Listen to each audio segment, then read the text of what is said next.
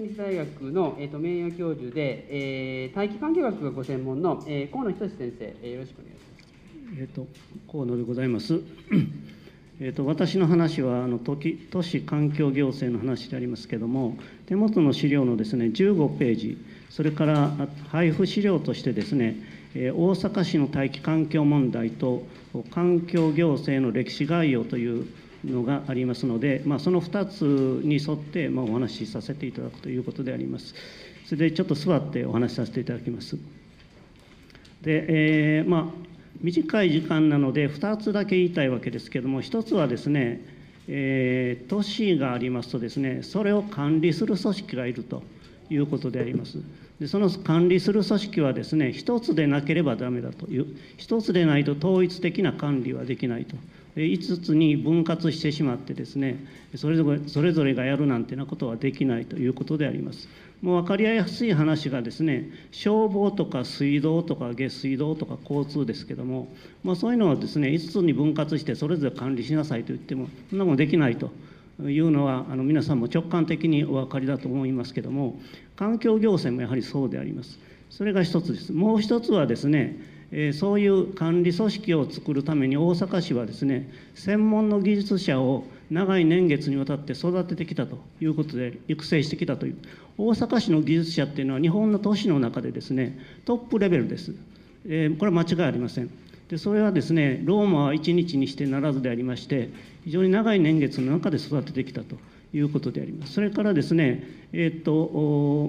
あのいわゆる二重行政でありますけども、1971年にですね、ここの後ろの歴史年表に出ておりますけども、あの大阪府は大阪市に対してですね、郊外のあの規制権限を全面的に移譲したわけであります。ですので、大阪市域に関してはですね、基本的に大阪市が、えー、郊外のあの管理を監視を行うと、環境対策を行うということで、府は手を出さないというのが基本的な、ま、スタンスになっているということを、ま、知っておいていただきたいというふうに思います。それで、えっとまあ、こういう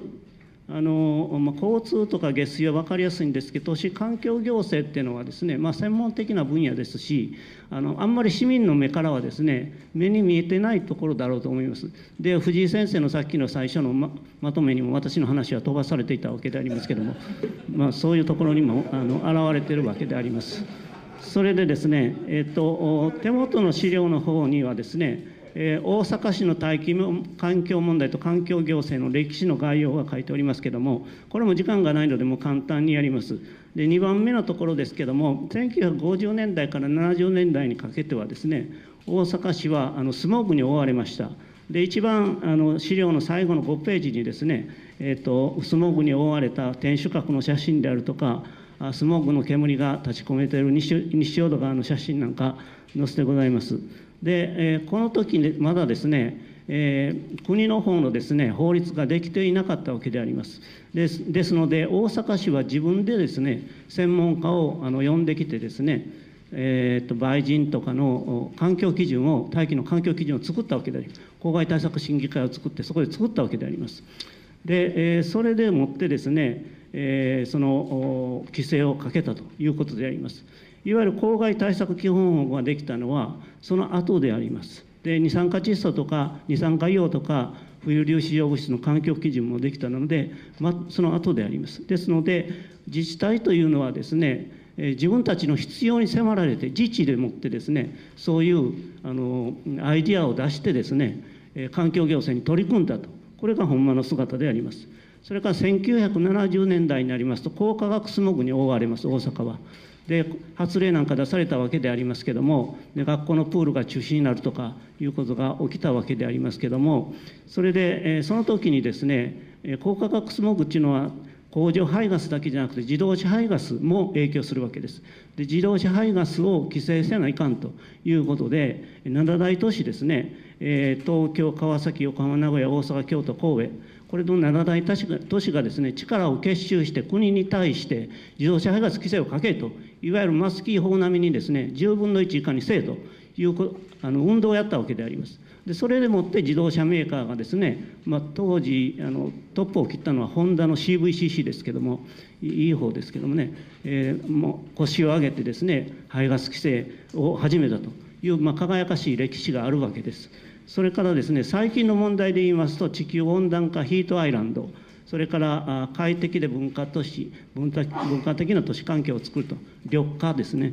そういう問題があります。それで、え緑化というのをヒートアイランド対策のメニューの一番に据えようと。言うたのはですね実はクールスポットという名前で言っておりますけれどもこれも大阪市であります。でそのそういう計画をあのヒートアイランド対策として取り入れるということであります。それから、これからはとにかく地球温暖化対策の時代でありまして、えーと、2050年までにですね、ほとん IPCC の5次報告によると、ほとんどのですね化石燃料を、まあ、80とか90%です、えー、自然エネルギーに変えないとだめだ、削減しないとだめだというふうに言われているわけであります。ですので、我々の前にはですね、省エネとか、あるいはそういう対策のですね、自然エネルギーに変える大きな課題もありますし、それを産業に変えていくという大きな課題もあるわけであります。それからもう一つ大事なのはアスベストの対策ですね。解体によって出るアスベスト。それを管理していくためには専門の技術者がいると。この専門集団を壊してはならないと。以上であります。